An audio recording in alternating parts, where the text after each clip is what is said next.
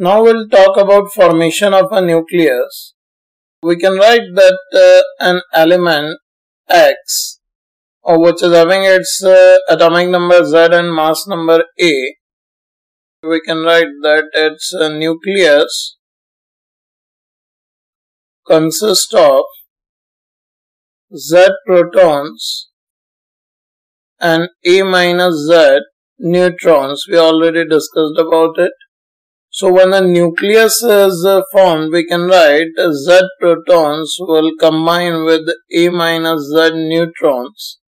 And when A minus Z neutrons combine with Z proton, it produces the nucleus X, which is with the atomic number Z and mass number A.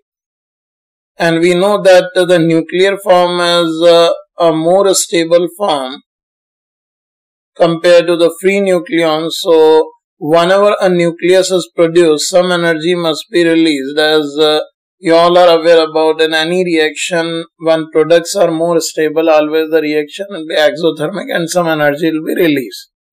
And in this situation, we can write if every proton has mass mp and neutron has mass mn, and say the mass of the nucleus produced is mx. Here the reaction can be written in uh, form of the masses like Z times mass of protons when combined with A minus Z times mass of neutrons.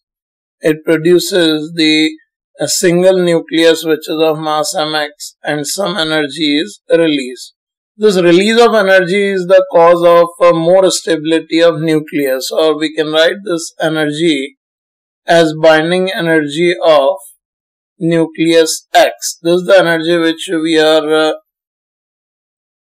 calling as binding energy which is the energy when externally supplied to the nucleus uh, it will split into its constituents and this reaction we can write nuclear reaction